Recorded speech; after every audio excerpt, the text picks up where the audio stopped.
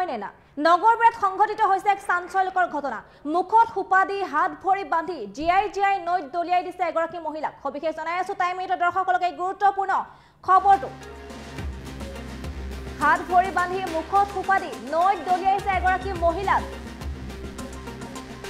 এই মুহূৰ্তৰ big breaking news জনাই আছো টাইম এইটৰ দৰ্শকসকলক। জীয়াই জীয়াই নৈত দলিয়াই হত্যাৰ অপচেষ্টা মহিলাক।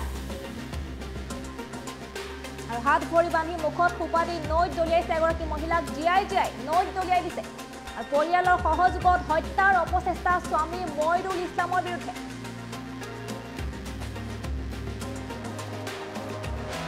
দীৰ্ঘদিন ধৰি স্বামীৰ পৰিয়ালে চৰম নিৰ্যাতন চলাই অহাৰ অভিযোগ উত্থাপনো হৈছে। পৰিয়ালৰ সহযোগত হত্যাৰ অপচেষ্টা চলাইছে স্বামী মইদুল ইছলামে অভিযোগ উত্থাপন হৈছে আৰু নৃশংসভাৱে মাৰপিট কৰি মাতাল স্বামীয়ে পেলাই দিছে নৈত। মুহূৰ্তত ডাঙৰ খবৰটো জনাই আছো টাইম এইটৰ দৰ্শকসকলক।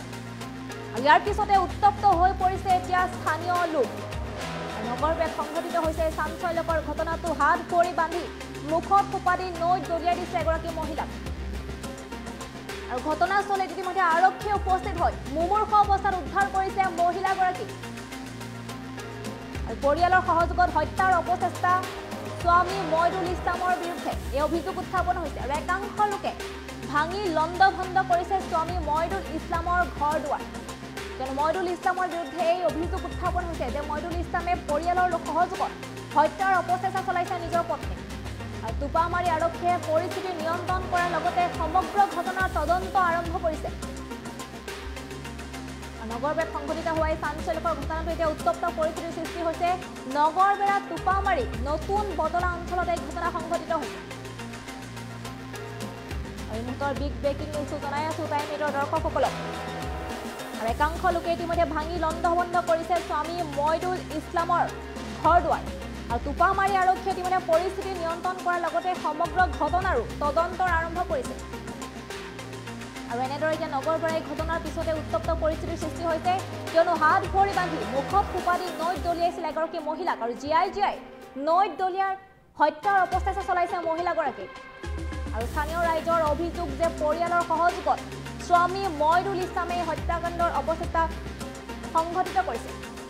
আৰু নৃশংসভাৱে মাৰপিট কৰি মাতাল স্বামীয়ে পেলাই দিয়ে নৈত এই অভিযোগ উত্থাপন হৈছে স্বামীৰ বিৰুদ্ধে। তাৰোপৰি দীৰ্ঘদিন ধৰি স্বামীৰ পৰিয়ালে চৰম নিৰ্যাতন চলাই অহাৰো অভিযোগ উত্থাপন হৈছে।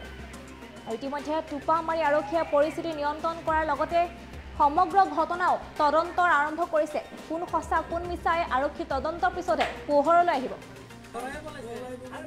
মানে হেৰি বোকাহান পানী বোকা থকা জেগাত নিজৰ স্বামীয়ে হাতে ভৰি বান্ধি হয়তো মাৰাৰ কাৰণে এটা কিবা পৰিকল্পনা কৰিছিল। এই হেৰিজনীক এই ৰেহেনা খাতুন নামৰ মহিলাগৰাকীক তেওঁৰ স্বামী মহিদুল ইছলামে হাতে ভৰি বান্ধি বদলা পথাৰৰ পানীত অজান ঠাইত পেলাই ৰাখিছিল। এনেকুৱা অৱস্থাতে আমাক খবৰ দিয়াত তাৰে গামবুঢ়াই আমি ততাতৈয়াকৈ গৈ আমি চন্তলি এই পি এছ চিত ভৰ্তি কৰালোঁ। বৰ্তমান এতিয়া তাইৰ শৰীৰৰ অৱস্থা সুস্থ দেখা পাই ডক্টৰে কোৱা মতে।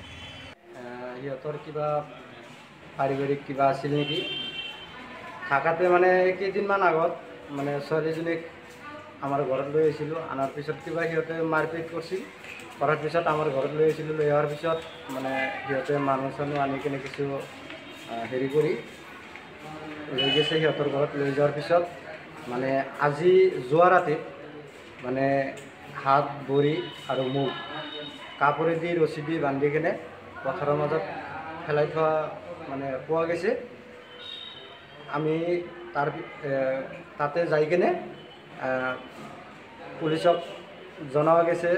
পুলিচে আহিছে অহাৰ পিছত পুলিচে মানে ফটো মাৰছে মাৰাৰ পিছত পুলিচে কৈছে যে তই এতিয়া মেডিকেলত লৈ যাব পাৰা আমি চমতলী মেডিকেলত লৈ আহিছোঁ। প্ৰথম এই আমাৰ তাৰে গাঁৱৰে ল'ৰা এটা মানে গৰু তাতে এৰি দিবা যাই কিনে চাইছিল